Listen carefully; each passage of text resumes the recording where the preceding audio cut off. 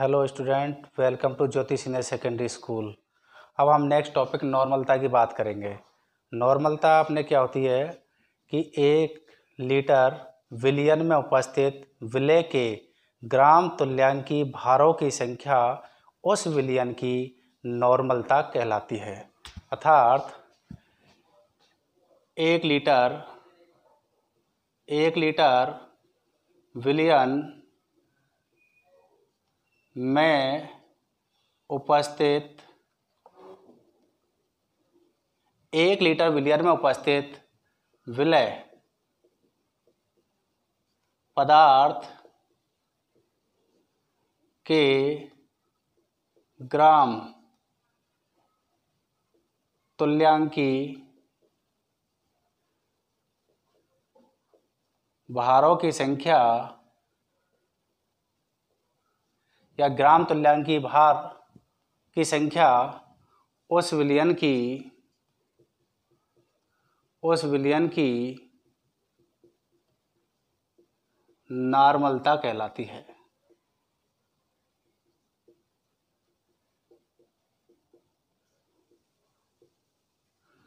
नॉर्मलता को capital N से प्रदर्शित किया जाता है। नॉर्मलता को कैपिटल एन से प्रदर्शित किया जाता है। प्रदर्शित किया जाता है। तो यहाँ हम देखेंगे, एक लीटर विलियन में उपस्थित विलय पदार्थ के ग्राम तुल्यांकी भारों की संख्या उस विलियन की नॉर्मलता कहलाती है। नॉर्मलता को कैपिटल एन से प्रदर्शित किया जाता है, अर्थात नॉर्मलता बराबर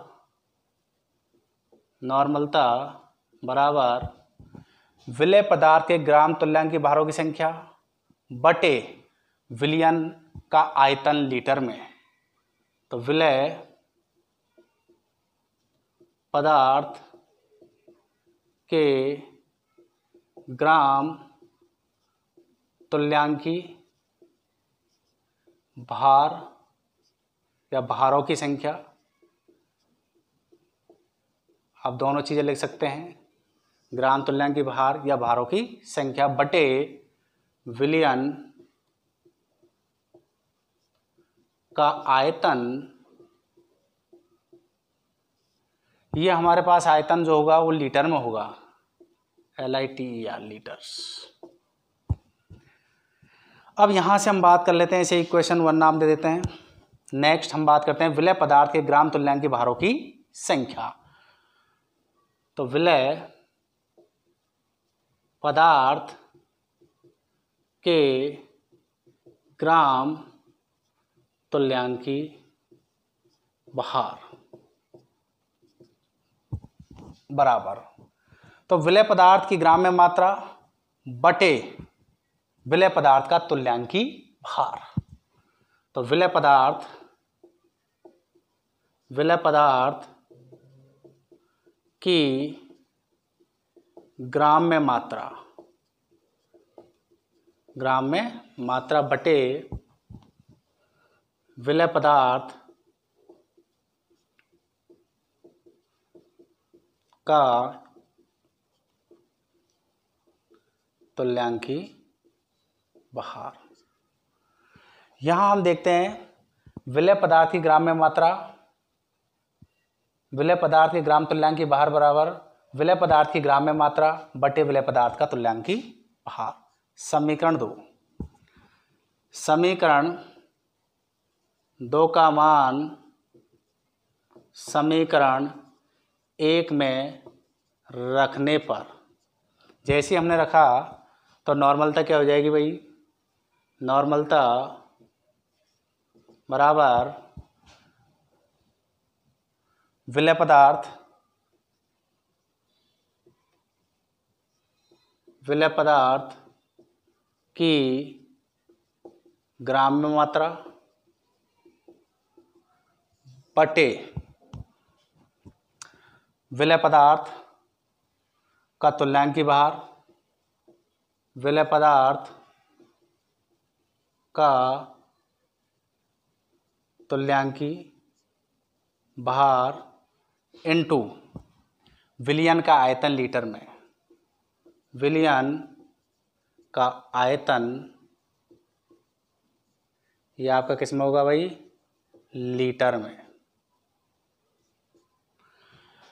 यहाँ हमने देखा नॉर्मल तो बराबर क्या होगी? विलय पदार्थ की ग्राम में मात्रा, बटे विलय पदार्थ का तुल्यांकी भार इनटू विलियन का आयतन लीटर में। अब यहाँ हमने माना माना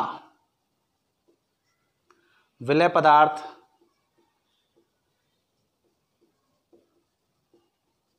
की ग्राम में मात्रा। इसे हमने डब्ल्यू से रिप्रेजेंट कर दिया। विलय पदार्थ का तुल्यांकी भार विलय पदार्थ का तुल्यांकी भार इसे हमने ई ए से प्रदर्शित कर दिया। नेक्स्ट विलियन का आयतन। विलियन का आयतन इसे हमने वी लीटर से प्रदर्शित कर दिया। तो ये सारी जो टर्म्स हैं, हम ऊपर रख देंगे। तो यहाँ से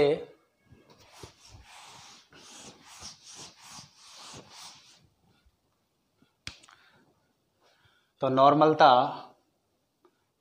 एन बराबर। विलय पदार्थ की ग्राम में मात्रा हमारे पास में क्या है? डब्ल्यू भी है, बटे विलय पदार्थ का तुल्यांकी बाहर ई ए है इन टू विलियन का आयतन लीटर में तो ये हमारे पास में वी लीटर है। तो ये हमारे पास सूत्र निकल के आ गया।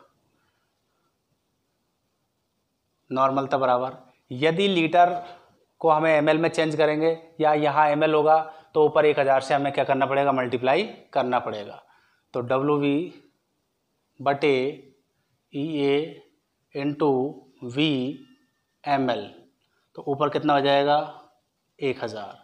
तो ये हमारे पास सूत्र निकल के नॉर्मलता का आ जाएगा। यहाँ से हम एक क्वेश्चन और देख लेते हैं इसमें। तो यहाँ क्वेश्चन की बात कर लेते हैं। सबसे पहले थोड़ा क्वेश्चन देख लेते हैं कि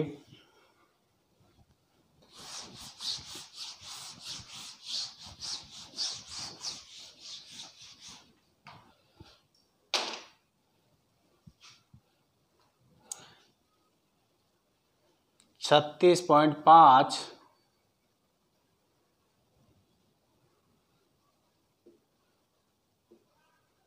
Gram H C L.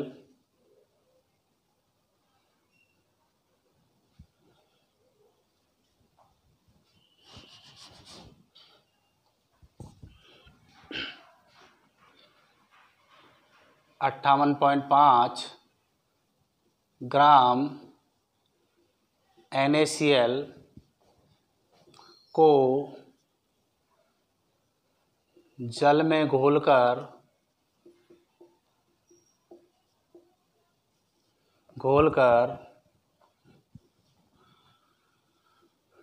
500 M L विलियन बनाया जाता है।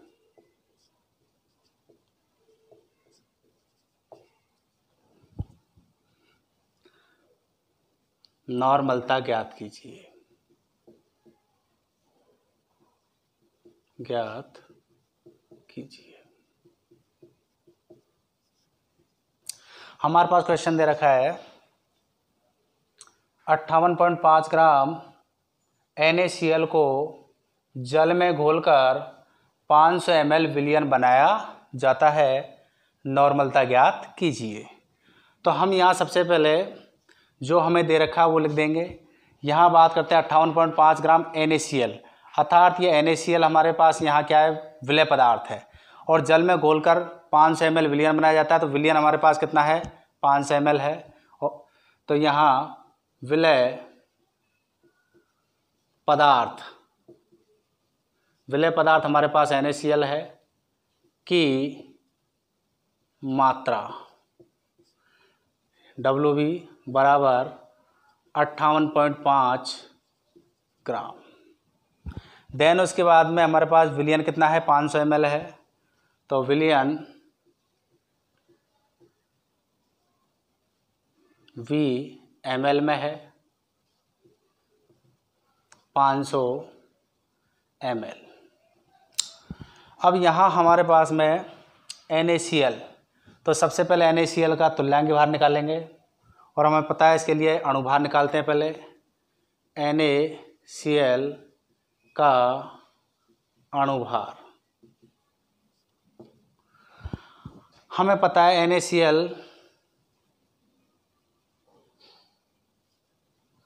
एन ए का तेईस प्लस सी एल का पैंतीस पॉइंट पाँच। दोनों मिलकर हमारे पास हो गए अट्ठावन पॉइंट पाँच। अर्थात इनका अणुभार निकल के अट्ठावन पॉइंट पाँच आ रहा है। यहाँ हम जैसे ही इसे, जब ये डिज़ोल्व होगा, या अपने आयंस के रूप में कन्वर्ट होगा तो एन हमेशा N A plus C L minus में कन्वर्ट होता है। अर्थात इसकी संयोजकता, क्षारकता का मान एक होता है। अतः अणुभार में जब क्षारकता का मान देते हैं तो तुल्यांक तुल्यांकी बाहर निकल के आता है। तो यहाँ हमें पता है इनकी क्षारकता का मान कितना है? एक है। तो यहाँ से हम एक का जैसे इसमें भाग देंगे तो यही मान निकल के आएगा। इसीलिए यही मान क्या माना जाएगा? तुल्यांकी भार माना जाएगा।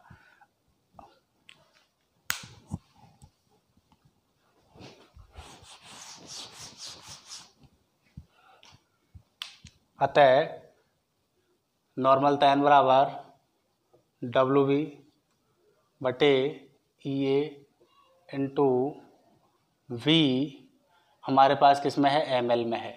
इंटू कितना हो जाएगा? हज़ार हमें करना पड़ेगा। सारी चीज़ें हम इसमें पुटअप कर देते हैं। डब्ल्यू भी हमारे पास में कितना है?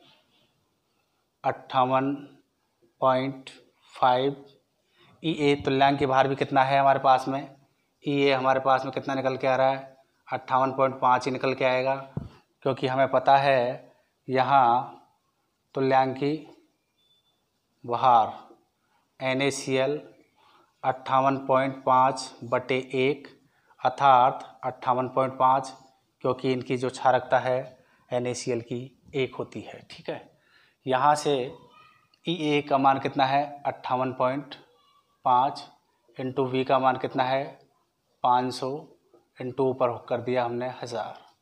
यहाँ से दो ज़ीरो से दो जी कट गई। और यहाँ हज़ार बटे पाँच सौ अर्थात एन बराबर हमारे पास आ गया दो। अर्थात नॉर्मलता हमें टू एन प्राप्त हुई। तो यहाँ से आपने देखा होगा, पहले क्वेश्चन है और एक बार देख लेते हैं। अट्ठावन पॉइंट पाँच ग्राम एन को जल में घोलकर 50 एम एल विलियन बनाया जाता है। नॉर्मलता ज्ञात कीजिए। विलय पदार्थ हमारे पास एन है जिसकी मात्रा कितनी है? अट्ठावन ग्राम। विलियन हमारे पास में जल है, जिसकी मात्रा हमारे पास में 500 सौ है। तो एन का अनुभार कितना होता है? एन का तेईस सी का पैंतीस पॉइंट पाँच, दोनों का अगर ऐड करते हैं तो अट्ठावन पॉइंट पाँच निकल के आता है। यहाँ से हमें पता है कि जब एन को हम कहीं डिजोल्व करते हैं जल में तो हमें पता है कि ये एन प्लस और सीएल माइनस में कन्वर्ट होता है, अर्थात इसकी जो क्षारकता का मान होता है, एक होता है। यहाँ हम जब तुल्यांक की बाहर निकालते हैं तो अणुभार बटे, उसकी क्षारकता होती है। तो यहाँ क्षारकता एक है तो यहाँ तुल्यांक की बाहर का मान भी अट्ठावन पॉइंट पाँच निकल के आएगा। तो यहाँ से हमने सूत्र में पुटअप कर दिया नॉर्मल तो बराबर डब्ल्यू बी इंटू हंड्रेड एक हज़ार बटे E A into V M L में। तो अट्ठावन पॉइंट पाँच बटे अट्ठावन पॉइंट पाँच हज़ार बटे पाँच सौ। तो यहाँ से जैसे हमने किया तो नॉर्मलता का मान कितना निकल के आया? टू एन निकल के आया। अगर आपको ये वीडियो अच्छा लगे तो इसे लाइक और सब्सक्राइब कर दें।